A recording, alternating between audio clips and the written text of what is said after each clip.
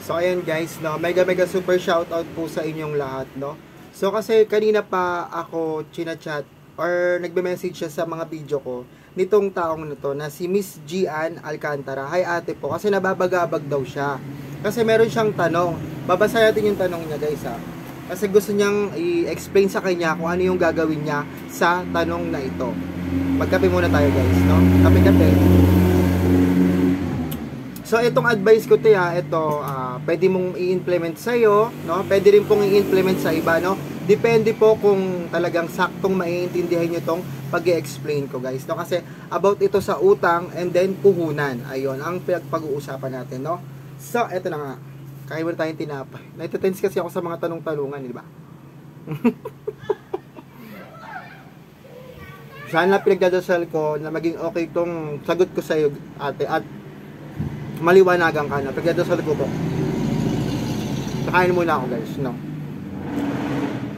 Kasi mas maganda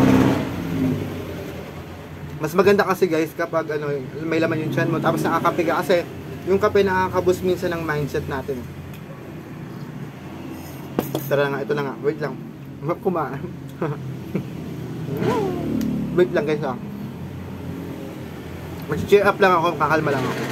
Naging si ano no, si Charo Santos ako. so ito ang sabi ng ating kasari na si Gian Alcantara. Madam Duday, pa-advise naman po, may sari-sari store ako kaya lang, ang puhunan ko ay utang. Minsan nakaka-stress din, lalo na pag matumal. Sa sahod kasi ako sa paluwagan. Naisip ko na ibayad na lang lahat sa utang ko para wala na akong problema.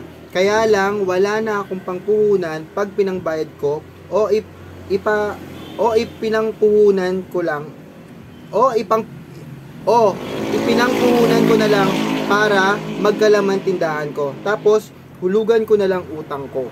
So ayun yung sana guys na rinig nyo yung sabi ni Gian Alcantara. Unang-una kasi ate.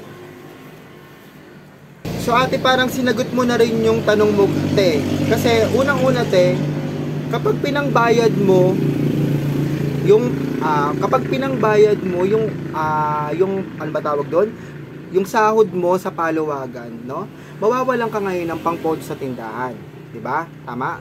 Mawala ka ng pound sa tindahan. Kaya ang gagawin mo ngayon, okay lang na hulug-hulugan mo yung utang mo. Kasi kesa naman wala kang itinda, 'di ba? Kasi sinagot mo na rin yung ano, sinagot mo na rin yung tanong mo, no? So ganun yung gagawin mo, ate. Ang gawin mo, kunin mo yung pahulugan, kunin mo na yung kukunin kunin mo na yung sa pahulugan mo. Yung 'di ba sa sahod ka sa pahulugan, kunin mo na yon para ipangluwal mo dito sa sari-sari store mo, no? So, ang gagawin mo niyan ate ngayon is kailangan mong alamin yung kikitain mo. Doon ka ngayon bibili, magbabakas ka sa mga produktong fast moving talaga sa'yo. Dito pumapasok yung fast moving. Kasi ate, ganito yan ha, ikaw ang makakaalam ng fast moving item sa iyong sari-sari store mo. So, kung kukunin mo yung sahod mo ngayon sa paluwagan, ibili mo yan na alam mong kikita talaga ng bonggang biririt no? Ayun yung advice ko, huwag ka nang mag-alinlangan pa. Na, kasi sabi mo naman na pwede mo namang hulug-hulugan pa yon no? Dahil dun sa item na dahil dun sa item na mabili, dun ka, ka ngayon kukuha ng pangbayad mo sa hulug-hulugan mo. And then, ala, ito yung laging sinasabi sa inyo mga guys, no? Alamin mo yung kita ng sari-sari store mo. Kung nakikita nyo, di ba sa akin ang ginagawa ko, nililes ko na agad yung kikitain ko, no? Yung tutubuin nito. And then, dinidivide ko sa tatlo, sa lola ko, sa akin, sa, sa lola ko, sa akin, sa tindahan. Ganun yung gagawin mo. Pero kasi, ate, iba yung sitwasyon natin eh ang sitwasyon mo is siguro may mga anak ka pa, may mga pinapakain ka pa. 'Di ba? Mahirap ngayon, no? Ang gagawin mo ngayong strategy, magdadagdag ka pa ngayon ng mga item na magiging mabenta sa iyong sari-sari store. Tignan mo diyan sa uh, sa area mo kung ano pa yung mga pwede mong itinda na binibili rin ng mga tao. No? Magdagdag ka ng mga produkto na alam mong mabibili ito, alam mong mabibili ha, yung mga nakikita mo sa ibang sari-sari store na, na binibili lagi, no? Dagdagan mo 'yon. Huwag ka nang ma-stress diyan ate. Yung sasahurin mo ngayon, no? Ibili mo ng mga fast moving na paninda para sa ganun te, mabayaran mo ngayon yung hulug-hulugan mo, no? Hulug-hulugan mo utang. At ito te, siguro may ginagawa ka rin kasing mga ganito ah, kasi minsan talaga tayo natitrigger tayo bumili bumili ng kung ano-anong luho. Aminin na natin 'yan. aminin na natin yan na natitrigger talaga tayo bumili ng mga luho, no? Kasi bakit ka naman mauubusan kung wala kang ga- ginagawang masama, di ba? So, doon na, nagkakaluho sa pamilya mo, sa anak mo, baka ganun yung nangyayari sa'yo. Ah. Hindi kita pinagagalitan natin. Ah. Baka ganun kasi, meron kang ginagawa na hindi karapat dapat din sa sari-sari store mo. Baka pagsabi ako eh, no? So, so ganun yun, kasi naranasan ko na rin yan, di ba? Ngayon nga, nakita nyo, lumulugmok yung aking sari-sari store. Pero pinipilit ko pa rin bumangon at gagawin ko to yung mga ginagawa ko tulad ng dati. Napipaid lang naman ako dahil, napipaid lang naman ako guys dahil sa pag-ibig na yan. So, ayun dapat yung iiwasan mo. Kung saan ka mahina, ha? Kung saan ka mahina, ayun ang iiwasan mo. Para sa akin guys, ha, kasi mahina ako sa pag-ibig, no? Ayun yung iniwasan ko pagdating sa negosyo, no?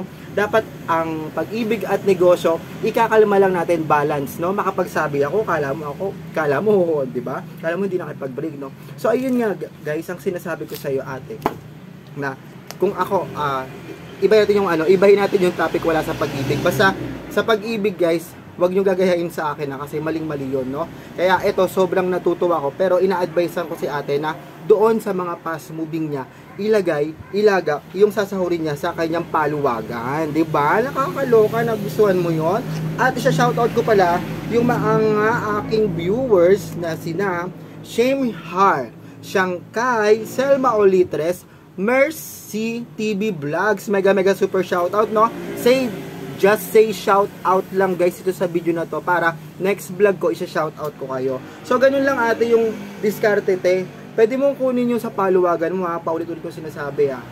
Tapos tigil yung mga luho-luho na yan. Tigil yung mga luho-luho ng mga anak mo, ng mga asawa mo, ng, as ng asawa mo lang pala. Kasi once na luho-luho lang, kasi nangyari sa akin guys eh, luho ng, mm, nung ano ko, sinusunod ko. Luho ng, mm, ano ko, sinusunod ko, di ba? Anong nangyari sa akin? So guys, uh, so ate, ang gagawin mo ha, ibakas mo to sa mga produktong alam mo naman na talagang kikita ka ng bongga no at mag uh, mag-add ka tumingin-tingin ka, sige maging magchismosa ka about sa negosyo. Ah, maging chismosa ka about sa negosyo kung ano pa yung mga tinitinda ng mga kapwa mo tindera. Gayahin mo, wala namang problema kung, kung mag-click sa'yo or hindi. Basta ang gagawin mo lang, konting produkto lang paggagaya ka kasi hindi mo alam kung magiging click ito, di ba? Ayun yung pinaka-lesson sa sinasabi ko, guys, no? Isip-isip ka pa ng paraan kasi alam ko naman, siguro matagal ka na rin sa sari-sari store mo at siguro kaya ka ng utang, alam na alam mo na rin kung paano ito bayaran. So pero nag-nagdagdag lang ako, nagdagdag lang ako ng idea kung paano mo to no mababayaran pa, no? Yes? So ayun ate, wag ka nang mangamba sa sinasabi mo dito, no? So gawin mo ang sinasabi ko, pinaka final na gagawin mo, yung sa pahulugan mo, ayun, gamitin mo pang puhunan doon sa fast moving item para ngayon mahulog-hulugan mo ngayon yung utang mo. Hindi ko alam kung ilan yung utang mo kasi sabi mo kasi uh, mga utang, ibig sabihin na mga utang is marami, no? So, kalma-kalma lang sa mga luho para mabayaran mo talaga yan. Kalma sa luho ng anak mo, kalma sa luho ng mga as ay, ng asawa mo lang pala, isa lang pala yung asawa natin. So, yun ate, sana naintindihan mo yung discussion natin for today. Sana nakatulong to at lumakas yung loob mo, no? At ito po si Madam Duday, ang super box po ng bike. At kung meron pa kayo mga advice dyan sa akin, is magsabi lang po kayo sa baba ng aking video. And thank you for watching guys. Salamat uli dito ha, sa mga nag-shoutout, shoutout. Ito, oh my god, wait lang. so yun natin, sana naintindihan mo ko ha, sa may fast moving mo siya ilaga, no? Kasi kung kung babayaran mo kung babayaran mo naman yung utang mo now-now, 'di ba? Paano naman paano naman ititinda mo, no? Kaya gawin mo na lang, alamin mo yung kikitain ng tindahan mo. And then iwas-iwas luho, 'di ba? Kasi alam ko naman siguro naman may luho-luho ka rin, 'di ba? Basta budgetin mo yung pera mo. Ayun ang pinaka-advice ko sa iyo. So, eto yung last na ating ipa-shoutout, no? Shame Shame Har Shanghai Selma Oritres, Mercy TV Vlogs. Thank you, thank you ha. Ito yung mga matatagal niyang nanonood sa akin. Thank you for watching. Please like, share, and subscribe my YouTube channel para updated ka sa mga bago kong video. Bye bye guys. Kumakain pa. Bye bye.